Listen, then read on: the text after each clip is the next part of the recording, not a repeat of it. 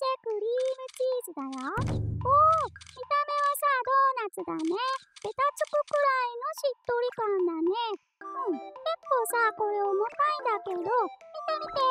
クリームたくさんで、超美味しそうだね。ではでは、いただきまっちゃ。うーん、しっとり生地が美味しいね。噛んだ瞬間ね、生地はほろりと崩れ、口の中に広がるの香り。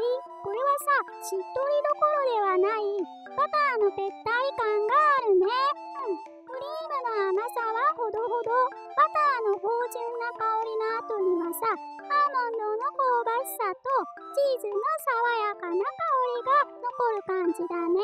美味しいんだけどさ、バターかな？うん、マーガリンの油分かな？それがね、多すぎる気がすんだよね。